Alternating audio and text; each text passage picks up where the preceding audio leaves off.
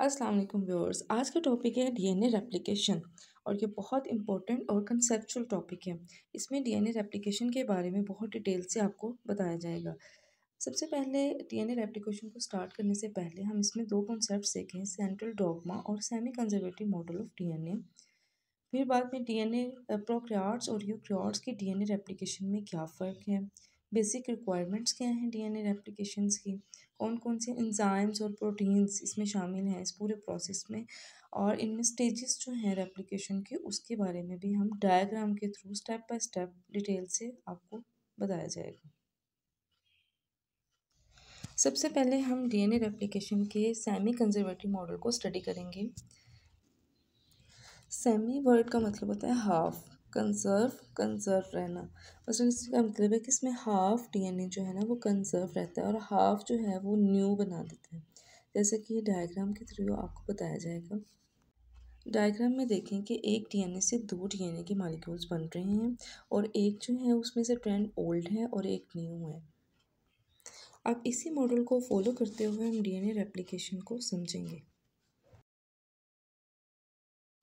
अब हम central dogma की बात करते हैं। हम जानते हैं कि डीएनए एक विरासती माता है और उसके पास बहुत सारी इन्फॉर्मेशन मौजूद है। हम देखेंगे कि ये अपनी इन्फॉर्मेशन कैसे ट्रांसफ़र करता है और कौन कौन से प्रोसेस है जिसकी मदद से अपनी इन्फॉर्मेशन को आगे ट्रांसफ़र करता है। और जिस ख़ास प्रोडक्ट की हमारी बॉडी को ज़रूरत होती है, वो ख़ास प्रोडक्ट ही तैयार कर देता है। अब सेंट्रल डॉगमा के थ्री स्टेप्स हैं replication transcription and translation replication जैसा कि नाम से ज़ाहिर है रेप्लिका तैयार करना यानी अपनी ही कॉपी तैयार करना यानी डीएनए जो होगा, वो अपनी ही कॉपी तैयार कर देगा। फिर बाद में डीएनए से आरएनए और आरएनए से प्रोटीन बन जाएगी। अब ये देखिए डीएनए से डीएनए बन गया, इसको रेप्लिकेशन इस प्रोसेस को बोलेंगे। अब डीएनए से अगर आरएनए बने तो इसको ट्रांसक्रिप्शन और आरएनए से प्रोटीन तो इसको ट्रांसलेशन अब सबसे पहले हम रेप्लिकेशन की बात करते हैं। इसमें एग्जैक्ट कॉपी तैयार होगी डॉटर डीएनए की और बिल्कुल आइडेंटिकल न्यूक्लियोटाइड सीक्वेंस के साथ। अब सेकंड प्रोसेस है ट्रांसक्रिप्शन इसमें क्या होगा, यही जेनेटिक मैसेज जो होगा, जो कि डीएनए के पास मौजूद है, वो इसको ट्रांसफ़र कर देगा एग्जैक्टली आरएनए को। थर्ड वन जो प्रोसेस है, वो है ट्रांसलेशन इसका मतलब है कि इसमें जेनेटिक मैसेज जो होगा, वो ट्रांसलेट कर दिया जाएगा मैसेंजर आरएनए से हमारी प्रोटीन के पास। हमने देखा कि कैसे जेनेटिक इन्फॉर्मेशन ट्रांसफ़र हुई है डीएनए से पहले आरएनए के पास, फिर आरएनए से प्रोटीन और इस पूरे प्रोसेस को सेंट्रल डॉगमा कहते हैं और ये साइंटिस्ट था फ्रांसिस क्रिक उसने ये हमें बताया। जैसा कि हम जानते हैं कि डीएनए रेप्लिकेशन प्रोक्रियाट्स और यूक्रियाट्स दोनों सेल में होती है। इनके मेन मैकेनिज़्म आलमोस्ट सेम होते हैं, लेकिन कुछ ऐसे पॉइंट्स हैं जो दोनों में डिफरेंट हैं।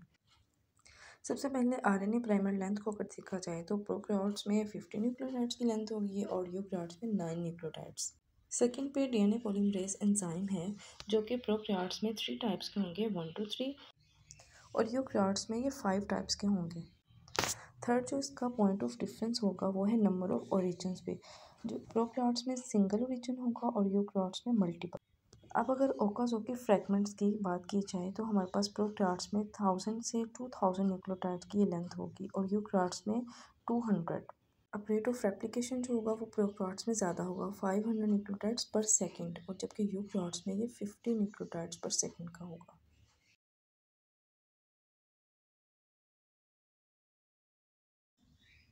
प्रोक्रेटिक डीएनए सर्कुलर और डबल स्टैंडर्ड होता है। तो उसमें जो ओरिजिन ऑफ़ रेप्लिकेशन होगा, वो एक आई की तरह होगा, जैसे कि डायग्राम में बताया गया है। और इसमें ये टू रेप्लिकेशन फॉक होंगे और इसकी डायरेक्शन जो होगी, एक की क्लॉकवाइज और एक की एंटी क्लॉकवाइज होगी। यूक्रोड्स में अगर देखा जाए तो हमारे पास यहाँ पर मल्टीपल ओरिजिन ऑफ़ रेप्लिकेशन होंगे, जबकि प्रोक्राट्स में हमारे पास just one origin of replication था।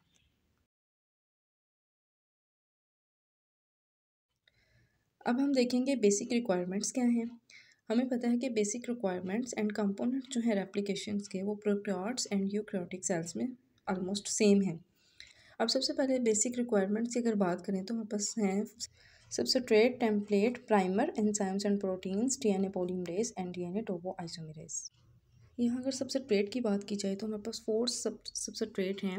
Four deoxyribonucleoside phosphate हैं हमारे पास और ये हाई एनर्जी कंपाउंड्स होते हैं जिनके पास बहुत ज़्यादा बहुत ज़्यादा एनर्जी है और जब डीएनए का न्यू से ट्रेंड बनेगा तो ये फास्फोडाइस्टर बॉन्ड्स बनाने में ये एनर्जी देगी।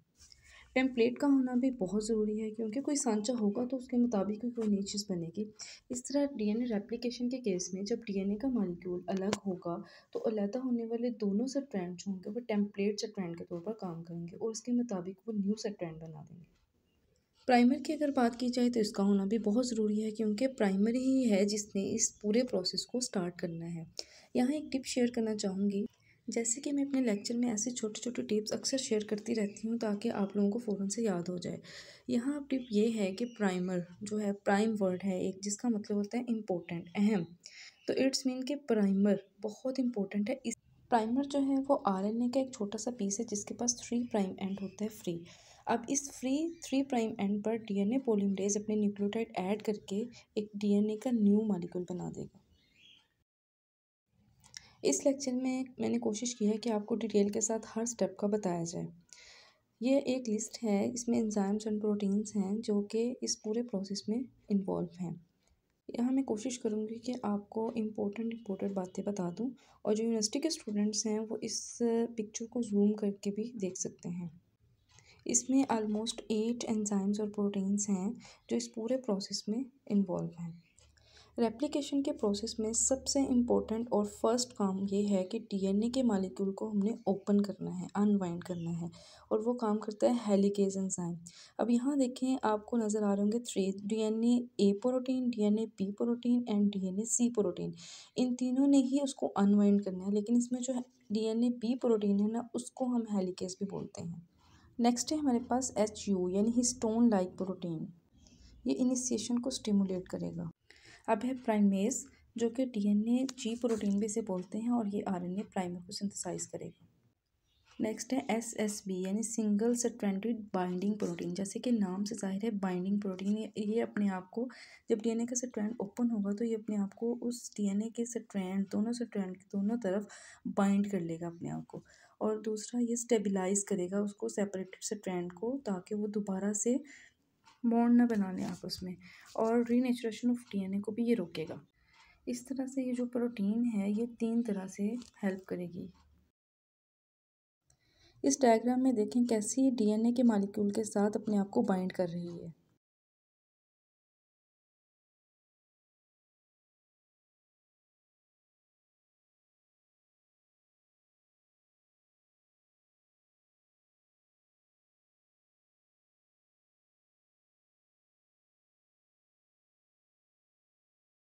अब नेक्स्ट है डीएनए गायरेज जिसको हम डीएनए टोपो आइसोमरेज वन और टोपो आइसोमरेज टू भी बोलते हैं।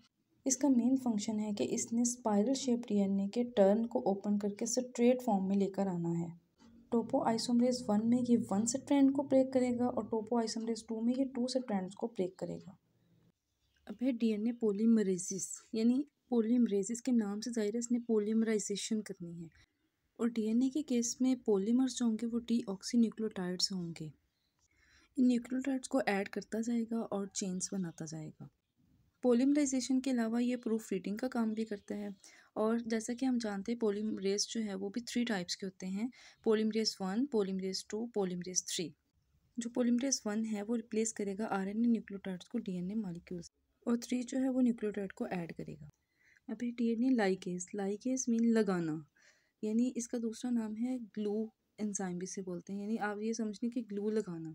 इट्स मीन कि ये सील्स करते हैं ओकाजो की फ्रैगमेंट्स को उन लैगिंग स्ट्रैंड्स। ओकाजो की फ्रैगमेंट्स हम आगे पढ़ेंगे, मैं आपको बताती हूँ कि कैसे ये सील करेगा। अब लास्ट पे इस रेप्लिकेशन प्रोसेस को एंड करवाने के लिए टर्मिनेशन प्रोटीन्स इस्तेमाल होंगी, जो कि इस प्रोसेस को टर्मिनेट करवा देंगी। अब वो दो तरह से काम करेंगी। एक तो ये कि वो हेलिकेस एंजाइम को प्रिवेंट करेंगी ताकि वो मज़ीद डीएनए को अनवाइंड ना करे। और दूसरा ये कि टर्मिनेशन को फैसिलिटेट करके वो इस पूरे प्रोसेस को एंड कर देंगी।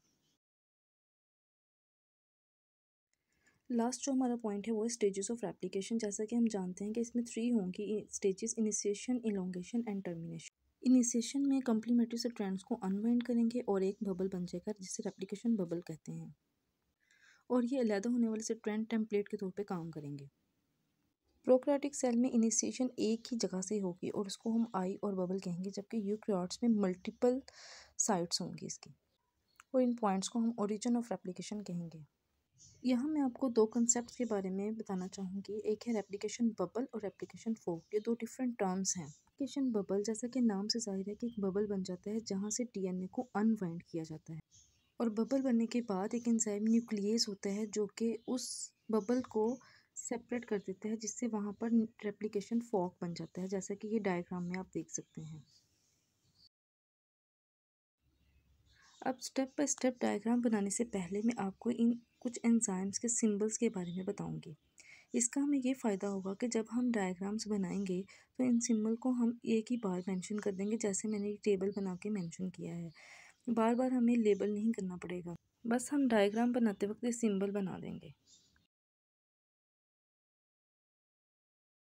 आपको समझाने के लिए मैंने कोशिश की कि हर स्टेप को अलग अलग से बनाया जाए ताकि आपको समझ आ जाए। सबसे पहले मैं यहाँ पर साइट्स ऑफ़ ओरिजिन को मेंशन करूँगी। आप देखेंगे कि यहाँ पर मल्टीपल साइट्स होंगी, जहाँ पर मल्टीपल बबल्स बनेंगे और फिर मल्टीपल रेप्लिकेशन फोक्स बनेंगे। यहाँ आप देख सकते हैं कि हेलिकेज एंजाइम को मैंने सिंबल से ज़ाहिर किया है और मुझे लेबलिंग करनी नहीं पड़ी इसकी। अब यहाँ पर एक साइट ऑफ़ ओरिजिन को हमने लिया है। देखें कैसे हेलिकेज एंजाइम इसके हाइड्रोजन बॉन्ड्स को तोड़कर इसे अनवाइंड कर देगा।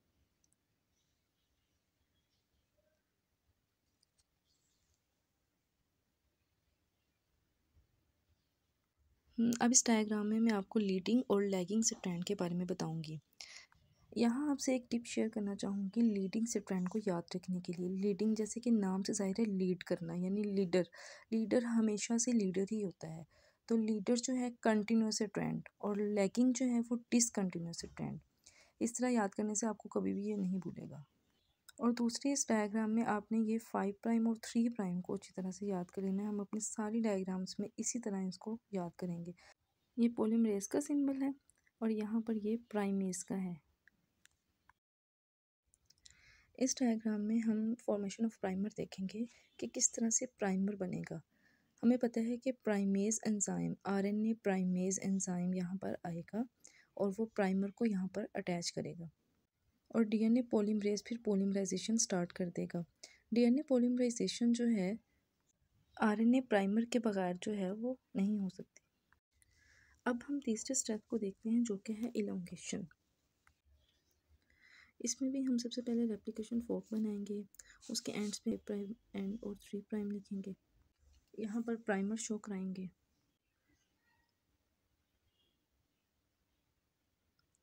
और यहाँ पर हम डी ऑक्सी राइबो न्यूक्लियोटाइड्स ये शो कराएँगे, ये जाके अटैच होंगे।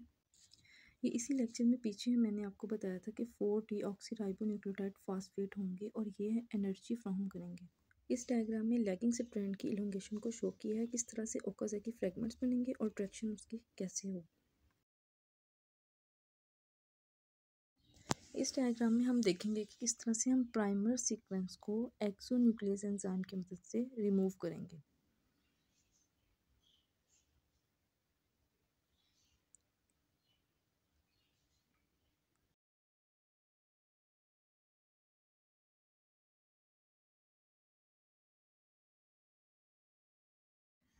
अब आरएनए प्राइमर रिमूव करने के बाद जो यहाँ पर गैप्स आ जाएँगे, वहाँ पर डीएनए लाइकेस डीएनए के छोटे छोटे टुकड़े जो हैं, वो यहाँ पर अटैच कर देगा। जैसे कि हम जानते हैं कि डीएनए लाइकेस जो है, वो ग्लू एंजाइम है। इस तरह से डीएनए का सब ट्रेंड यहाँ बना देगा ये। अब देखें, ये डीएनए के दो से ट्रेंड्स बन जाएँगे। इन्हीं से ट्रेंड्स को अगर हेलिक्स की फॉर्म में शो कराएँ तो हम ऐसे इसको बनाएँगे। पहले, ये पहले भी मैंने आपको बताया कि किस तरह से इनको एंटी पैरेलल स्ट्रैंड बनाना है।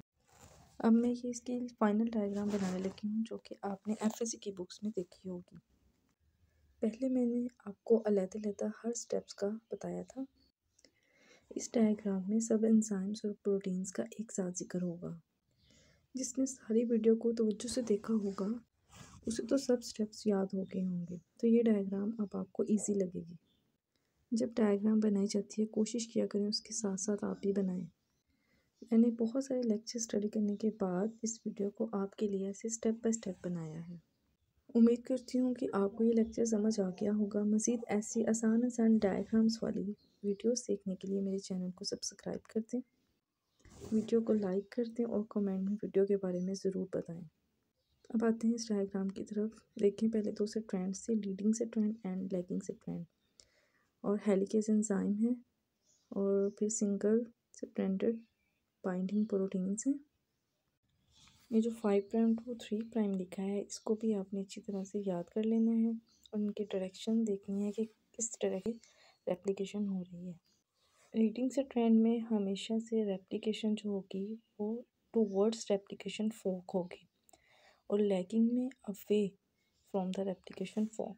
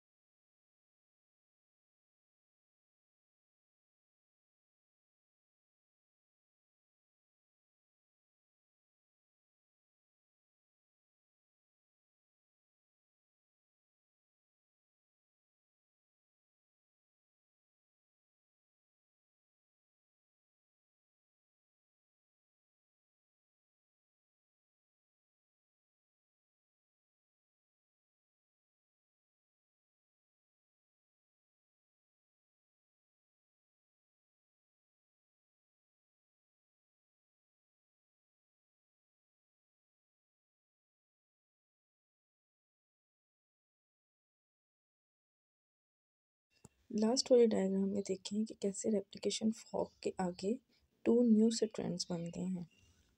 ये जो टू डॉटर से ट्रेंड है, ये पेरेंटल डीएनए की एग्जैक्ट कॉपी हैं। अपना बहुत सारा ख्याल रखिएगा, मिलते हैं अगली वीडियो में। अल्लाह हाफिज़।